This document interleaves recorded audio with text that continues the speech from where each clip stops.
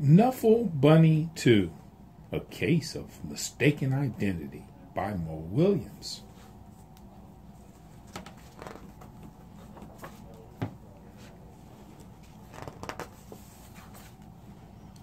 One morning, not so long ago, Trixie took a walk with her daddy.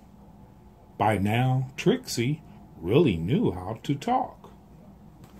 Guess what I'm going to do? I'm going to show Amy, and then I'll show Meg, and and and then I'll show Margaret, and then I'll show Jane, and then I'll show L- Leela, and then I'll show Rebecca, and then I'll show Noah, and then I'll show Robbie, and then I'll I'll show Tashi, and then I'll show Casey, and then I'll show Connie, and and and, and then I'll show Parker, and then I'll show Brian, and then And she talked and talked.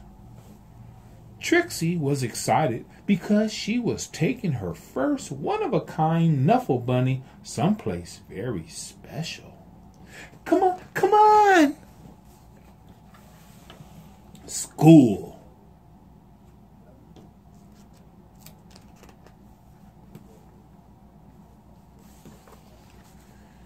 Trixie couldn't wait to show Knuffle Bunny to Miss Greengrove and all her friends in pre-K. But just as her daddy kissed her goodbye, Trixie saw Sonia. Suddenly, Trixie, one of a kind Knuffle Bunny, wasn't so one of a kind anymore. The morning did not go well. Knuffle, Knuffle, Knuffle, Knuffle. The afternoon was worse.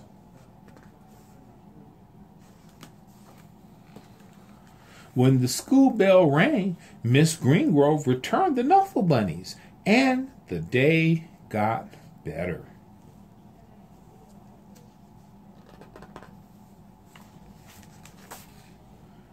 Then, before she knew it, it was time to go home.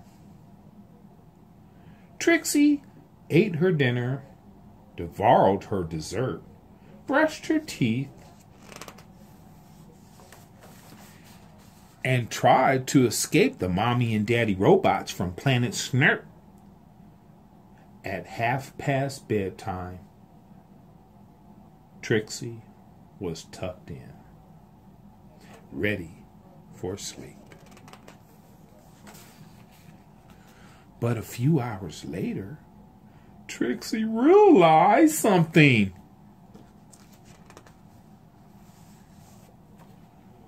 Trixie marched into her mommy and daddy's room and said, That is not my bunny. Trixie Daddy tried to explain what 2:30 in the morning 2:30 a.m. means. He asked, "Can we deal with this in the morning?"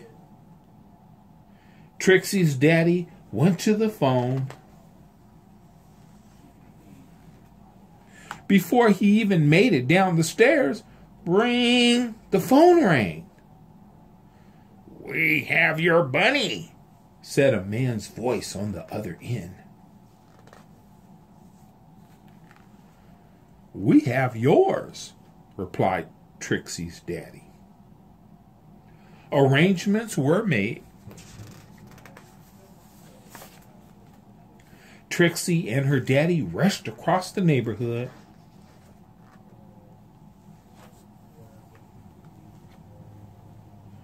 Trixie did not want to be late. Neither did Sonia.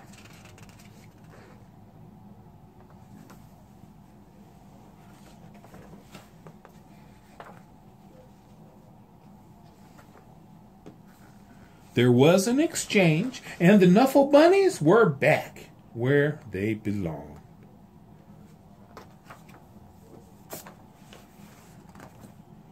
I was so worried about my bunny, said Sonia. So was I, Trixie replied. Then they both said, I'm glad you got your bunny back at the exact same time. And that is how Trixie found her first best friend.